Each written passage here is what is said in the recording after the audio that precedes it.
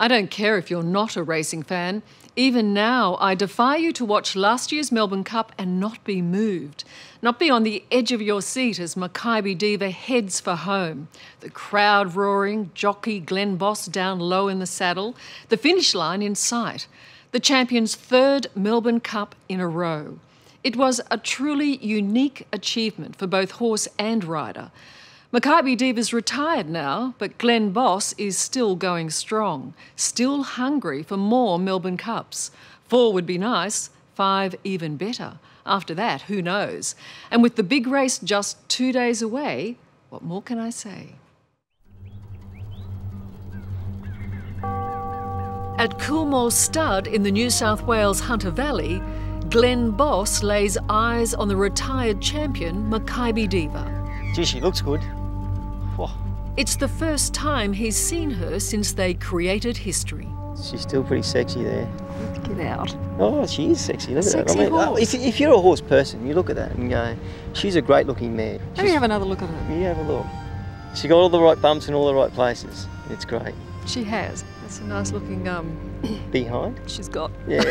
she's got a good eye. She's kind and she's, you know, when you see her like through here, she's, she's powerful. She's been a good girl to me. The best. And she- Back behind them, here's Makybe Diva. A nation roars for a hero. She's starting to wind up. Together, Boss and Makybe Diva won three Melbourne Cups in a row. A feat never achieved before and one few thought was ever possible. But a champion becomes a legend. I've watched that tape over and over again. I still cry when I watch it, and I still get the goosebumps. And I'm sure that I'll be still getting those goosebumps when I'm an old man. That's simply what this race does to you. No other race does it. What's the most important in this team? The horse or the jockey? Oh, the horse. really? For sure. Oh, for sure. Yes, yes, of course it is. Glen Boss couldn't pick a, a dromedary up and make it win three Melbourne Cups. But there again, there've been great horses that have been let down by their jockeys. Glen Boss never let Makybe Diva down. She's Archie tries hard, but Makybe Diva wins the cup. She's Archie second. And that, according to veteran racing journalist Max Presnell, is what makes Glen Boss a champion. Makybe Diva, she's got right up on the His three Melbourne Cup winning rides are among the best ever. Vintage class.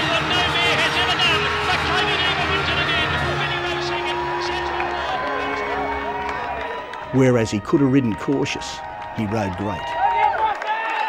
For that performance, I give him my Balls of Steel award. Balls of steel. Hmm, That's they what don't melt.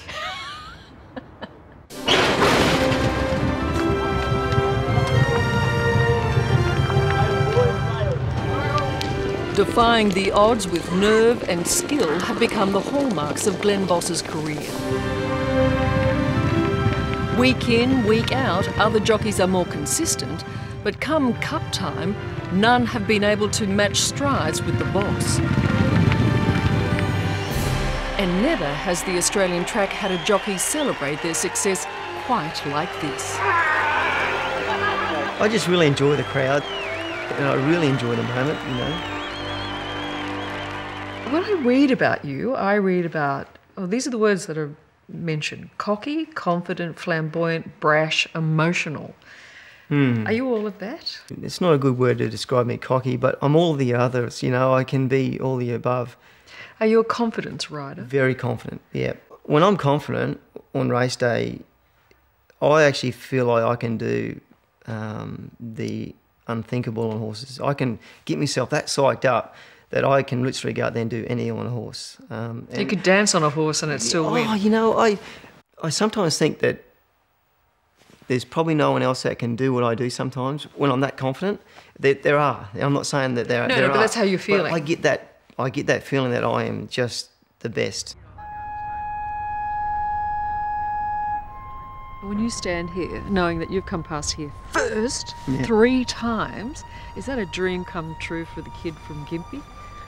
Oh, it's a dream for any kid, you know. You know, like when I went past, when you passed here, I remember putting my hand over my face, like I just couldn't believe it. I thought, you know, it just shouldn't happen, you know. But here I am. It's and it's it's reality. It's real. It's history.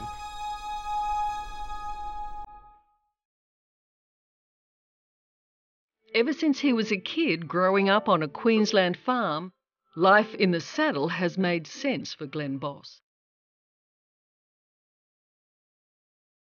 But a career as a jockey was never on the radar until one day when he was 15, his grandparents took him to the Gympie races. We pulled up at, at Gympie Racecourse. It was about 200 metres from the finishing line. And uh, there was a race being run at the time, and so I run across to the fence, you know, and, and I can just remember like it was yesterday. The horses come around the bend, and, and just the speed and, and the noise, and the jockeys were, you know, obviously feeling for their whips and starting to put pressure on their horses, and they thundered past, and I just went, oh my god.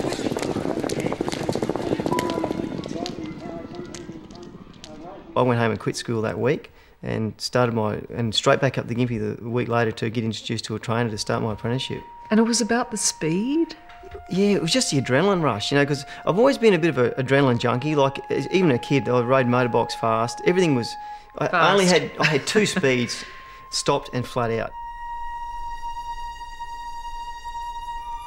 Boss was a young man in a hurry. He was soon being legged aboard those bush horses in Gympie, and his sheer aggression and determination caught the eye of the racing stewards like Ray Murray. Certainly came to our attention almost immediately. He was a kid that could ride. But he was an aggressive rider, was he, right from the get go? Yeah. yeah, he's an aggressive rider and he's a winning rider. Boss's winning ways also caught the eye of a pretty 16 year old girl called Sloane. What was your first impression of Glen? Um, I don't know, probably the, probably the normal like 16 year old thoughts. I just thought he was cute and. She just wanted me for my body. yeah. Well, that would have been obvious. Obviously. Way back then, though, you saw that desire to be really good at what he did. Absolutely, yeah. He has not changed one bit. To say life is good for Glen and Sloane would be an understatement. They live in designer luxury on five acres at Sydney's fringe.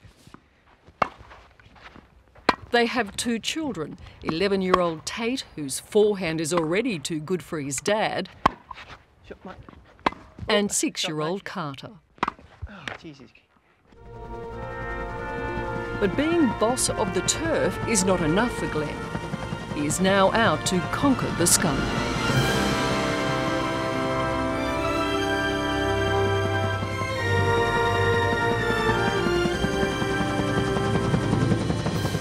At 37, Glen Boss is master of his own universe. A helicopter pilot's license is only a matter of course for someone so driven. But what's truly remarkable is how an experience that brought him crashing back to Earth changed him forever. G Boss before the fall was a very driven, um, very motivated, very narrow, like uh, tunnel vision person, you know. My family wasn't falling behind, but it was all about me, me, me, my job. On a rainy night in the gambling mecca of Macau four years ago, Boss slipped and fell. It looked harmless enough, but he broke his neck in two places. I knew I broke it straight away. I heard the crack. It wasn't until um, I went to Hong Kong and I was told how close I'd come and what the outcome could have been. And the outcome could have been death or a wheelchair. Yeah. Okay, so when you were told that, did that make change everything? It really hit home. It really hit home, and I can remember it like it was yesterday. Um, uh, Dr. Chang, and he told me what, what it was, and and and then my family come in. And it's like, oh my god, bad, huh? Mm. Because you could you could have thought, well, you know, here I am wondering about you know horses and stuff. It's, it, it, mm. it clearly strikes at your very soul that life changing moment? Yeah, I mean, um, there was a point there I could not have seen him again. Hmm. Did you make a decision there and then to change things? Yeah, um, immediately. I thought I've been doing things um, the wrong way. I'm getting sorry, a bit emotional. That's all right. Uh, Did you see the change in Glen that Glen speaks about? Uh, almost immediately. I think he must have just realised, well, I just can't take things for granted. He's a lot calmer.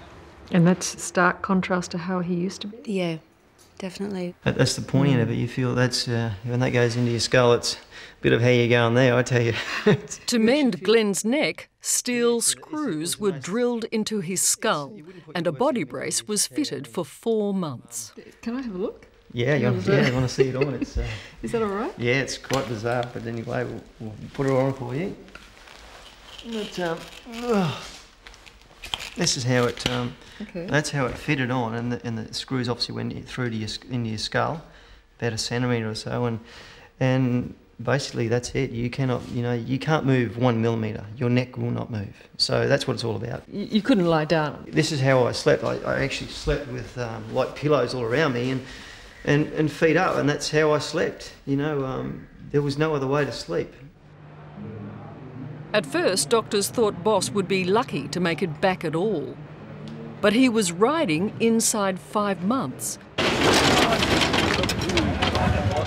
The medicos may have been amazed, but not those who knew him best, like Makybe Diva's trainer Lee Freedman. He's told me how he used to have to sleep sitting up with those things in his head. I, I just can't imagine that. But I guess that's the measure of a, of a man who's determined, I guess, at the very least. And a bit crazy, I suppose. He admits to being a bit crazy. oh, yeah, yeah. Well, you've got to be to do it. And there's no doubting that. Just look what happened to Glen on Melbourne Cup Day 2002, just five months after he broke his neck. Glen Boss calls it the accident he had to have. People ask me what's it like. I said, well, stand on the roof of your car in, in a football field, get up to about 70 kilometres an hour and just throw yourself off, and then get one of the football teams to come along and run over the top of you, you know. Mm. Doesn't make you stop? Doesn't make you want to rethink it? Oh, no way. No, not even for a millisecond. Look at the highs you get out of the sport. I've always wanted to hold a Melbourne Cup. Yeah, it's not many people actually get to hold it, you know. No. The holy grail of It racing. is, isn't it? Yeah. It's quite substantial.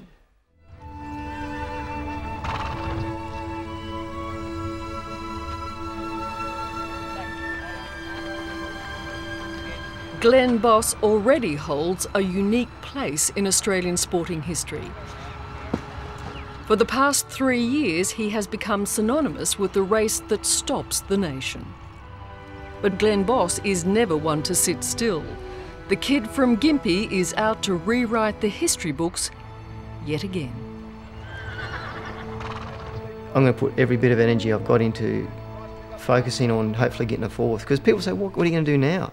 Straight away, I want to win a fourth Melbourne Cup. I want to join the greats. Be pretty good. Be pretty special, wouldn't it? I'm going to do everything in my powers to get there. Don't worry about that.